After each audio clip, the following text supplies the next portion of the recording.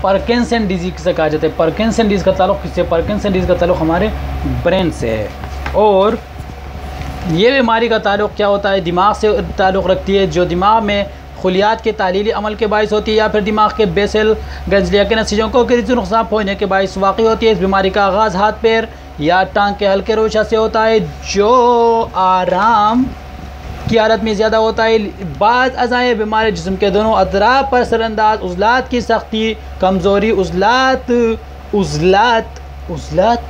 بعض اعضائے بیماری جسم کے دونوں اطراف پر سر انداز ہو کر عضلات میں سختی، کمزوری کب کبھی پیدا کر دیتی ہے۔ ہر چند کی بیماری کے آخر میں فم فراست متاثر ہوتی ہے، مگر جلد ہی قوت گوئیاں میں کمی اور ہچکچاہٹ کا آغاز ہوتا ہے اور لیو ڈوپا جو جسم میں جا کر ڈوپامائن میں تبدیل ہو جاتا ہے، اس بیماری میں مؤثر دوا ثابت ہو چکے ہر چند کے علامت میں کمی کرتی ہے، مگر دماغ میں جاری خلیاتی تحلیل کو مزید آگے بڑھنے سے نہیں روک سکتی۔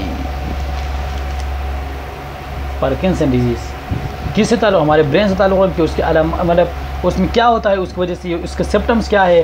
ان میں جو ہمارے جو مسلس ہے وہ کیا ہوتے ہیں؟ یعنی کہ مسلس میں سختی جو ہمارے مسلس وہ سخت ہو جاتے ہیں اور انسان کمزور ہو جاتا ہے۔